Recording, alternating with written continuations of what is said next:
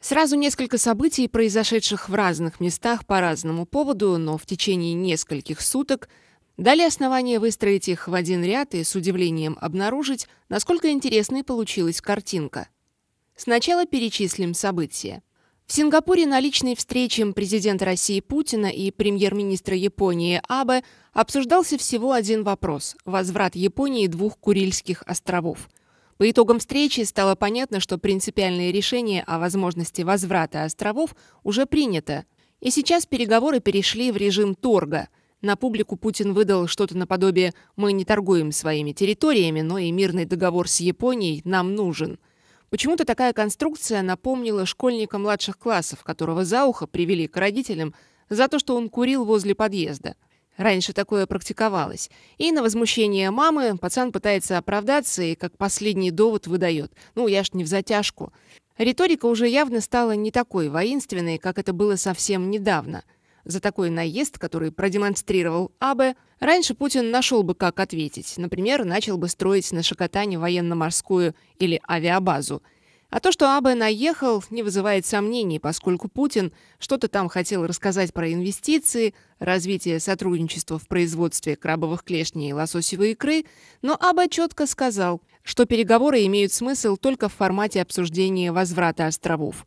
Все остальные темы будут обсуждаться только после их возврата.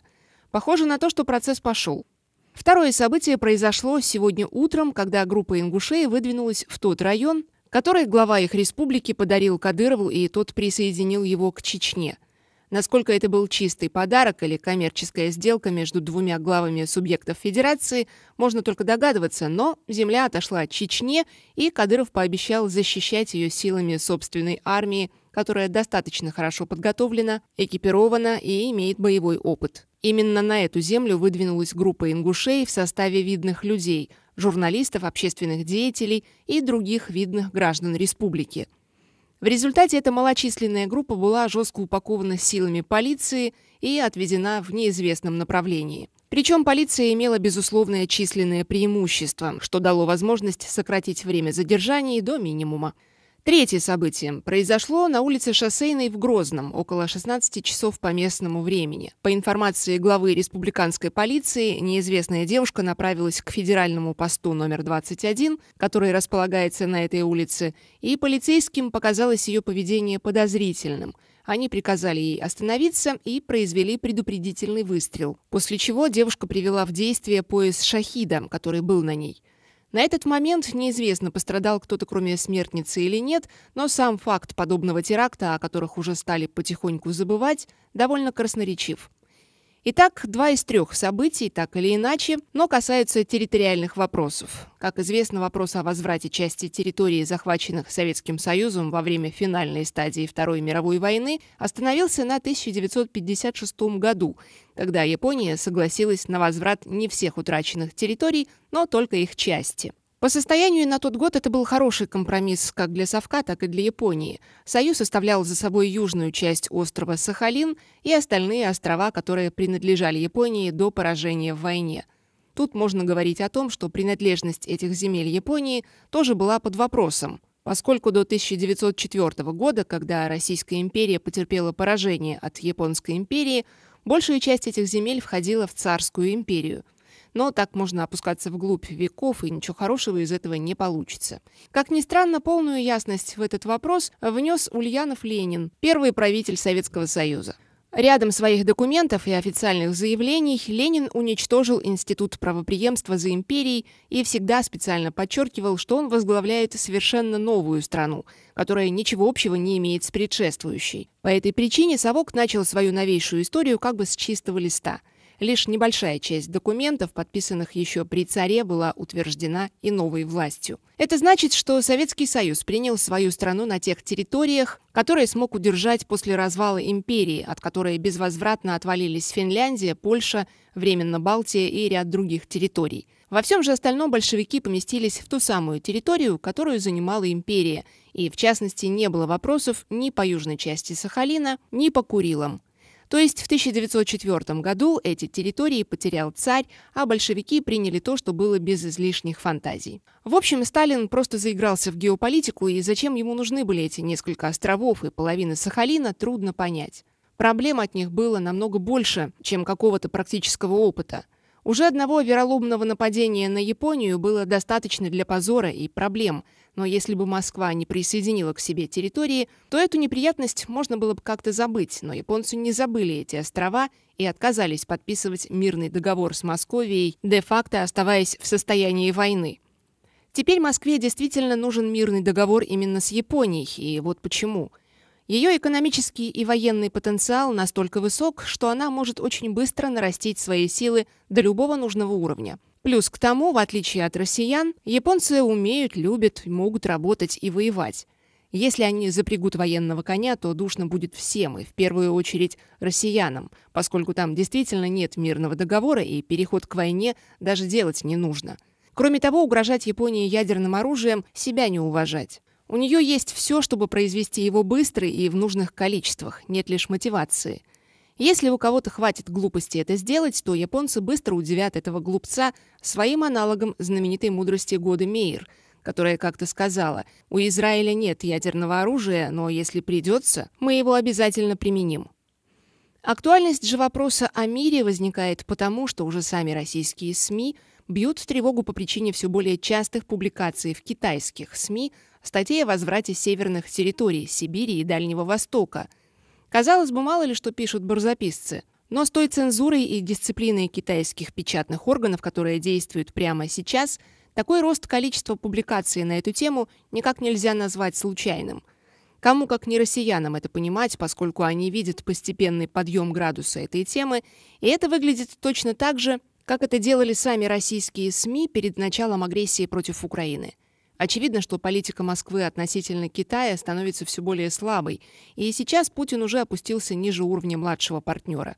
Теперь Москва пошла с протянутой рукой в Пекин за буровым оборудованием, которое уже никто не продает, а без него грядет коллапс нефтегазовой отрасли, поскольку с 2014 года не ведется работа по разведке новых месторождений – с учетом давних и непримиримых отношений Китая и Японии, Путин хотел бы создать хоть какой-то треугольник, чтобы можно было маневрировать, поскольку вернуться в тот треугольник, который когда-то предлагали Штаты, уже поздно. А для этого надо мириться с Японией и демонстрировать Пекину готовность жарких объятий, чтобы тот стал податливее. Еще совсем недавно Путин категорично заявлял о том, что не собирается никому отдавать своих территорий, но теперь Китай получил миллионы гектаров земли в концессию на 50 лет и продолжает оформлять новые участки, а два острова начали медленный дрейф в сторону страны восходящего солнца.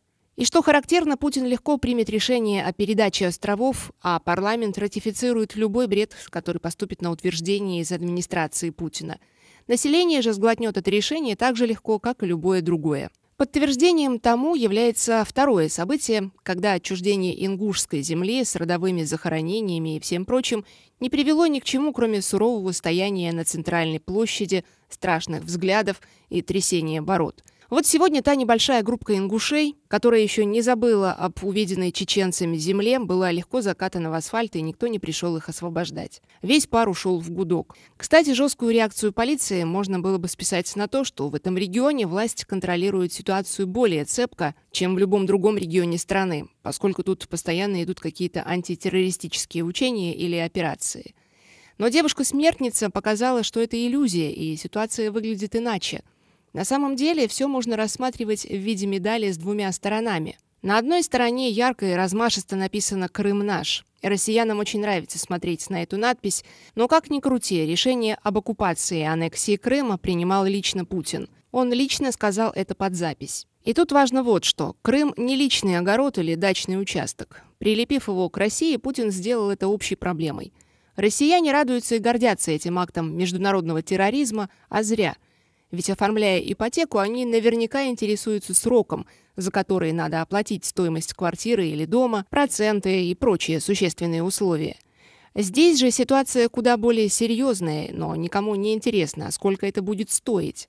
За эти четыре года туда уже ухнуло несколько десятков миллиардов, и это только начало.